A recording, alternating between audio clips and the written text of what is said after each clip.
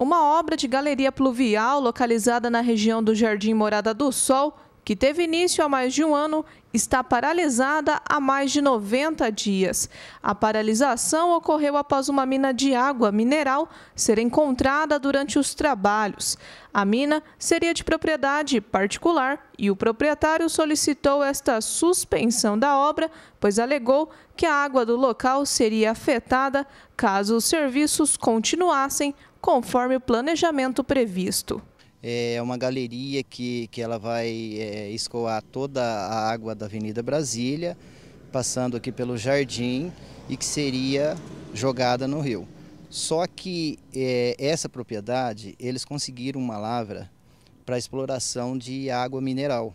Aí eles entraram com pedido para embargar a obra, porque essa água eles estão alegando né, que vai afetar a mina. Então o prefeito atual ele pediu para que acionasse o Instituto das Águas para que viesse aqui fazer um estudo.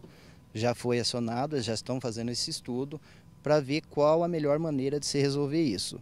Se ela dizia para cima, jogando mais abaixo, ou a construção de, de, de represas chamada Lagoas Camelos, né, para amenizar a queda dessa água. Então, tão logo saia o, o laudo do Instituto das Águas, para dar finalidade nessa obra. É, já está aqui embargado, parado toda essa obra há 90 dias, né? Sim, é, na verdade não é, não, ela não está embargada judicialmente.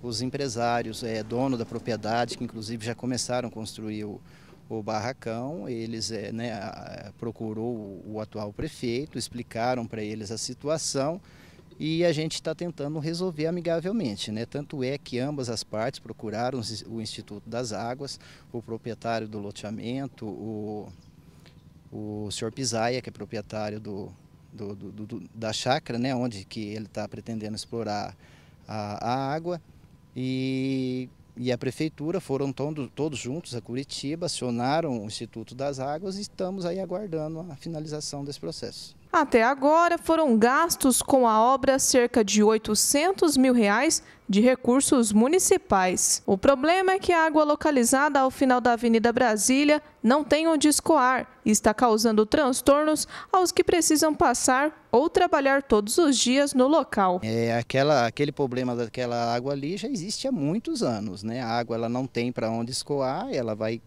juntando toda ali e a única solução é o escoamento através dessa galeria pluvial. O único problema que houve é o ponto aonde que vai ser jogado essa água, que deu, deu início na, na administração passada e que veio estourar agora esse problema aí. Ainda não há previsão sobre quando os trabalhos serão retomados e a obra terá sua devida continuidade. Com a paralisação, a pavimentação que ocorre na Avenida Brasília também será afetada. Sim, eu acredito que eh, já faz mais de 30 dias né, que se reuniram lá em Curitiba. Eu acredito que tão breve isso seja resolvido, até mesmo porque já, já, já, iniciou né, o prolongamento da Avenida Brasília, que também vai causar problema, que a água também vai, vai ser jogada nessa galeria. Então isso tem que ser resolvido com a máxima urgência. Só, tamo, só estamos esperando aí, ansiosos aí, aguardando a resposta do Instituto das Águas, se não vai prejudicar a mina, se não vai prejudicar a água aí, que é, não, a gente não tem intuito não de, de, de prejudicar ninguém.